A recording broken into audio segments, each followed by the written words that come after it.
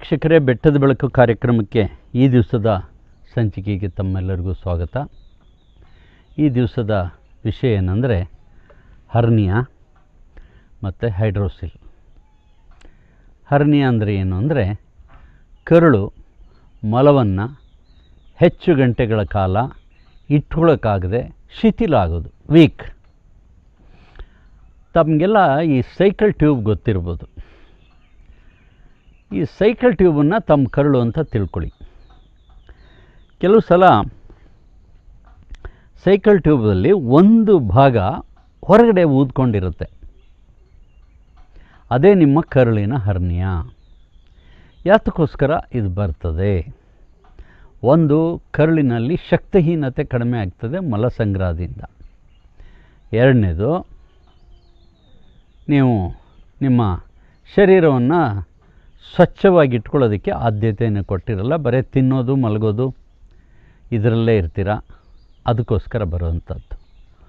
ಮೊಟ್ಟ ಮೊದಲನೇ ಕಾರಣ ಮಲಬದ್ಧತೆ. ಈ ಹರ್ನಿಯ ಹೀಗೆ ಹೊರಗಡೆ ಬಂದುಬಿಟ್ಟಿರುತ್ತೆ ಹೊಟ್ಟೆ ಭಾಗದಲ್ಲಿ. ಅಥವಾ ಇನ್ನೊಂದು ಥರದ ಹೈ ಹರ್ನಿಯ ಇದೆ. ಅದು ನಿಮ್ಮ ಮರ್ಮಾಂಗದ ಆ, ವೃಷಣಗಳೇನಿದ್ದಾವೆ ಆ ಬೀಜಗಳು ಆ ಬೀಜಗಳು ಊದ್ಕೊಳ್ಳೋದು, ಅಲ್ಲಿ ನೀರು ತುಂಬಿಕೊಳ್ಳುವಂಥದ್ದು, ಅದು ಕೂಡ ಇದಕ್ಕೆ ಸಂಬಂಧಪಟ್ಟಂಥ ಕಾಯಿಲೆನೇ. ಈ ಎರಡೂ ಕಾಯಿಲೆಗಳು ನಿಜವಾಗಿ ಹೇಳಿದರೆ ಕಾಯಿಲೆ ಅಲ್ಲ. ಮತ್ತು ಕಾಯಿಲೆ ಅಲ್ಲದೆ ಏನು? ತಮ್ಮ ಮರೆವು. ತಮ್ಮ ಕರ್ತವ್ಯವನ್ನು ತಾವು ಸರಿಯಾಗಿ ಮಾಡಿರಲ್ಲ. ದೇಹ ಪೋಷಣೆಯನ್ನು ಸರಿಯಾಗಿ ಇಟ್ಕೊಂಡಿರಲ್ಲ. ಅದಕ್ಕೋಸ್ಕರ ಹರಣಿ ಆಗ್ತದೆ. ಅದಕ್ಕೋಸ್ಕರ ನಿಮ್ಮ ಇದರಲ್ಲಿ ವೃಷಣಗಳಲ್ಲಿ ನೀರು ತುಂಬಿಕೊಳ್ಳುತ್ತೆ ಟೆಸ್ಟಿಕಲ್ಸಲ್ಲಿ. ಮತ್ತು ಇದನ್ನು ತಾವು ಹೇಗೆ ಪರಿಹಾರ ಮಾಡ್ಕೊಬೇಕು ಅನ್ನೋದನ್ನು ಹೇಳಿದ್ದೀವಿ. ಆ ಒಂದು ತಂತ್ರವನ್ನು ತಾವು ಉಪಯೋಗಿಸ್ಕೊಂಡು ಗುಣ ಮಾಡ್ಕೋಬೇಕು. ಈಗ ಬಂದಿದೆ, ಏನು ಮಾಡೋದು? ಅದಕ್ಕೆ ಹರ್ನಿಯ ಘೃತ ಅಂತಲೇ ಒಂದು ಬರ್ತದೆ. ಆ ಹರ್ನಿಯ ಘೃತ ಅಂದರೆ ಒಂದು ತುಪ್ಪ. ಅದನ್ನು ಪ್ರತಿ ದಿವಸ ಸೇವಿಸೋದು. ಹರ್ನಿಯ ಮಾತ್ರೆ ಅಂತ ಬರ್ತದೆ.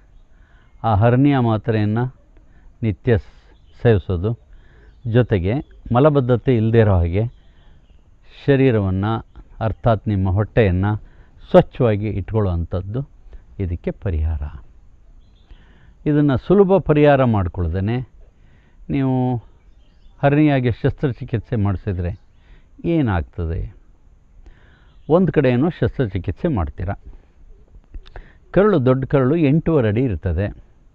ಇನ್ನೊಂದು ಕಡೆ ಕಿತ್ಕೋತದಪ್ಪ ಮತ್ತೆ ಶಸ್ತ್ರಚಿಕಿತ್ಸೆ. ಏನಂದರೆ ಒಂದು ಶಸ್ತ್ರಚಿಕಿತ್ಸೆ ಮಾಡಿಬಿಟ್ಟು ಅಲ್ಲಿಗೆ ಒಂದು ಮೆಶ್. ಒಂದು ಏನು ಹೇಳ್ತೀರಾ? ಬಲೆ. ಬಲೆಯನ್ನು ಹಾಕ್ಬಿಟ್ಟು ಮತ್ತೆ ಹೊಲಿದು ಬಿಡ್ತದೆ. ಮತ್ತೊಂದು ತಡ ಕಿತ್ಕೊಂಡು ಮತ್ತೊಂದು ಸರಿ ಆಪ್ರೇಷನ್ ಮಾಡೋದು. ಇಂಥ ಶಸ್ತ್ರಚಿಕಿತ್ಸೆಗೆ ಒಳಗಾಗೋದ್ರಿಂದ ನಿಮ್ಮ ಶರೀರ ದುರ್ಬಲವಾಗ್ತದೆ. ಆ ಒಂದು ಔಷಧಿಗಳನ್ನು ತಿಂದು ಕೂಡ ನಿಮ್ಮ ಜೀವನ ಕೂಡ ಹಾಳಾಗ್ತದೆ. ಅದಕ್ಕೋಸ್ಕರ ತಾವು ಮುನ್ನೆಚ್ಚರಿಕೆಯನ್ನು ಮಾಡ್ಕೋಬೇಕು. ಮಲವಿಸರ್ಜನೆ ಬಹಳ ಮುಖ್ಯವಾದ್ದು. ಇದರಿಂದ ದೇಹ ವಿಷಮಯ ಆಗ್ತದೆ. ಅದಕ್ಕೋಸ್ಕರ ಹೈಡ್ರೋಸಿಲ್ ಹರ್ನಿಯಾ ಇದೆರಡನ್ನು ತಾವು ತಪ್ಪಿಸ್ಕೋಬೋದು. ಹರ್ನಿಯಾಗೆ ಮೆಡಿಕಲ್ ಶಾಪಲ್ಲಿ ನಿಮಗೆ ತಾತ್ಕಾಲಿಕ ಪರಿಹಾರಕ್ಕೆ ಒಂದು ಬೆಲ್ಟ್ ಸಿಗುತ್ತೆ. ಆ ಊತ ಭಾಗವನ್ನು ಮತ್ತೆ ಒತ್ತಿಡ್ಕೊಳ್ಳುವಂಥದ್ದು. ಹರ್ನಿಯಾ ಬೆಲ್ಟ್ ನಿಮ್ಮ ಒಂದು ಸೊಂಟದ ಮತ್ತು ನಿಮ್ಮ ಒಂದು ಹೊಟ್ಟೆ ಕೆಳಭಾಗದ ಅಳತೆಗೆ ತಕ್ಕಂತೆ ಆ ಹರ್ನಿಯಾ ಬೆಲ್ಟನ್ನು ಹಾಕ್ಕೊಂಡು ತಾತ್ಕಾಲಿಕ ಶಮನವನ್ನು ಮಾಡ್ಬೋದು. ಆದರೂ ಕೂಡ ಮಲವಿಸರ್ಜನೆಗೆ ತಾವು ವ್ಯವಸ್ಥೆ ಮಾಡ್ಕೊಳ್ಳೋದ್ರಿಂದ ಸಂಪೂರ್ಣ ಅದು ಗುಣ ಆಗೋದಕ್ಕೆ ಸಾಧ್ಯ. ಆದರೆ ಬಹುತೇಕ ಮಂದಿಗೆ ಆ ಬಗ್ಗೆ ಏಕಾಗ್ರತೆ ಇಲ್ಲದೇ ಇರೋದರಿಂದ ಕೊನೆ ಹಂತದಲ್ಲವರು ಶಸ್ತ್ರಚಿಕಿತ್ಸೆಗೆ ಹೋಗ್ತಾರೆ. ಅದು ಒಂದು ಸಾರಿ ಶಸ್ತ್ರಚಿಕಿತ್ಸೆಯಿಂದ ಅದು ಪೂರ್ಣವಾಗಿ ಗುಣ ಆಗಲ್ಲ. ಆದ್ದರಿಂದ ಮುನ್ನೆಚ್ಚರಿಕೆ ಅಗ ಅಗತ್ಯ ಇದೆ. ತಾವು ಜಾಗೃತರಾಗಿರಬೇಕು. ಹೆಚ್ಚಿನ ಮಾಹಿತಿಗೆ ನಮ್ಮನ್ನು ಸಂಪರ್ಕ ಮಾಡೋದರಿಂದ ಕೂಡ ಗೊತ್ತಾಗ್ತದೆ. ಶುಭಮಸ್ತು